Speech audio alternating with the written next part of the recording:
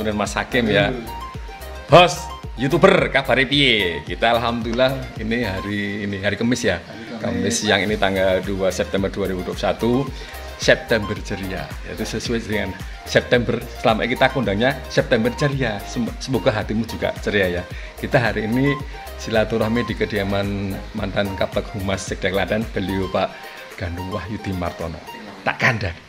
Beliau sebetulnya itu ora pensiun janjan. Oh, pensiun ternyata ya nyambut gawe yo. Yo ning sawah yo ning ladang yo bikin aneka kerajinan tetek bengek kita tanya beliau yo ini di samping saya nih.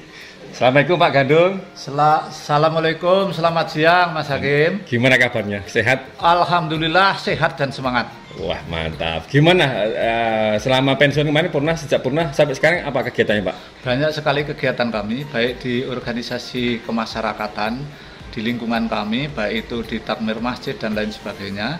Tapi yang kalau di rumah saya banyak kegiatan eh, kerajinan.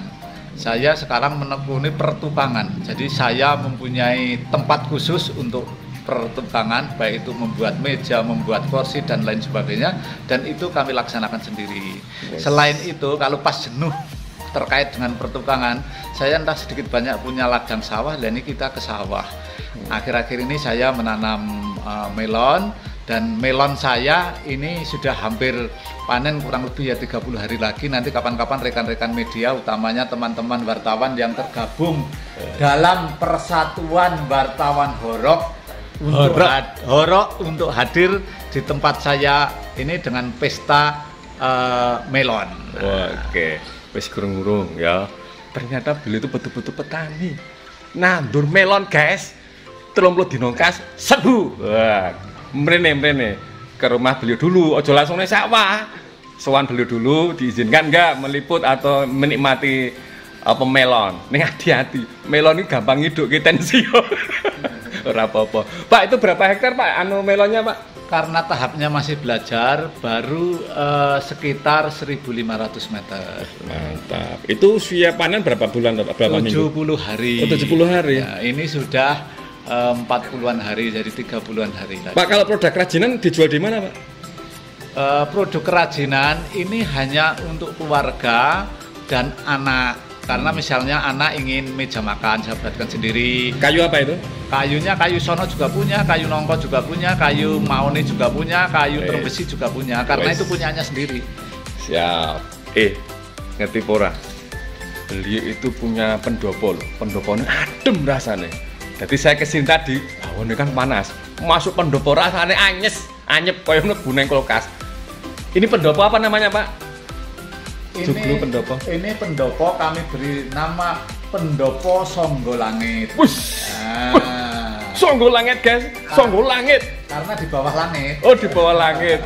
Dan yang lebih unik itu, sekalipun saya seorang bapak-bapak, lingkungan pendopo ini kan penuh dengan tanaman hias semuanya. Mm. Dan ini hasil tanaman kami setelah pensiun. Jadi sebelum saya pensiun, tanaman eh, bunga-bunga ini belum ada. Nah ini saya selingkungan saya ini kita tanami bunga atau tanaman hias. Saya tuh lupa, Pak. Bapak purna tanggal berapa, Pak? Purna saya 1 Juli 2020. 1 Juli 2020 berarti wis pandemi yo Iya, sudah pandemi ya. betul. Weh. Pak ini terus terang Pak kita eksis Pak di grup eh, wartawan eh, Horok di Klaten betul. apa pesan buat teman-teman wartawan Horok Pak Saya sudah uh, sangat uh, mengapresiasi dengan persatuan wartawan horor ini. Ini menunjukkan bahwa teman-teman apa itu dengan forum itu kan bisa sebagai sarana untuk silaturahim, untuk saling mengingatkan, untuk saling membagi informasi sharing ide saling ide dan lain sebagainya. Selain itu juga untuk bisa sarana untuk mempertahankan idealisme seorang wartawan. Kan sekarang juga banyak wartawan-wartawan orang-orang yang mempunyai konten-konten yang belum jelas saja sudah mengaku wartawan datang-datang di desa-desa dan lain sebagainya. Ini kan tidak mau akan mempengaruhi citra wartawan yang sebenarnya. Dengan adanya wartawan horok, ini paling enggak itu bisa untuk menanggulangi itulah wartawan-wartawan yang kurang istilahnya jelas. tanda kutip ya, Ya, abal-abal Eh, Tetapi wartawan horor ini saya mohon untuk tidak terbawa arus menjadi wartawan gorok. Nah untuk Jangan sampai ojo ngasih ya bolo-bolo, ojo ngasih ya jangan sing gorok. Wih nak gorok tak toko saka grup ringko ya. Wes. Oke. Pak terakhir Pak, ini masa pandemi level 4 menuju level 3 ini alhamdulillah. Iya. Gimana perasaan Bapak gimana Pak? Terus terang saja sa- usia saya usia 60 ini saya tetap taat dan taat terhadap instruksi pemerintah berarti tidak harus bepergian kemudian harus selalu memakai masker kemudian menjaga jarak dan lain sebagainya kami taat itu. Dan memang kenyataannya kalau kita semuanya itu taat terhadap anjuran pemerintah atau eh, himbauan pemerintah ternyata juga aman. Karena Iya, apa? di wilayah kami desa Burangan itu kemarin cukup banyak yang positif COVID, tapi setelah mereka juga disiplin memakai masker, kemudian tidak bepergian, warung-warung juga tutup karena mengikuti ppkm. Ternyata akhir-akhir ini juga eh, nihil ya, untuk eh, Oke, untuk baik. yang positif. Siap. Tak kira wis mun cukup ya. Mun nek kakean ngobrol kamu nggak akan lihat video ini. Ngentek kota ya, ora apa-apa. Sementing kita silaturahmi, Mas Hakim akan mendatangi rumah kamu, mendatangi kuliner kamu, mendatangi rumah toko masyarakat dan minta semacam apa wejangan atau ya ngat ng- ng- ngangsu kawruh ya, ngangsu kawruh. tetap sempat mengabdi negeri jangan lupa iki PPKM yo total nol ini urung istilahnya belum tapi istilah level 4 itu level telu nah jadi tetap maskeran ya. Maskeran nah hati-hati. Jangan lupa 5M tetap diterapkan. 1D apa itu? 1D apa Pak? doa. Nah, 1D itu doa. Doa yang banyak.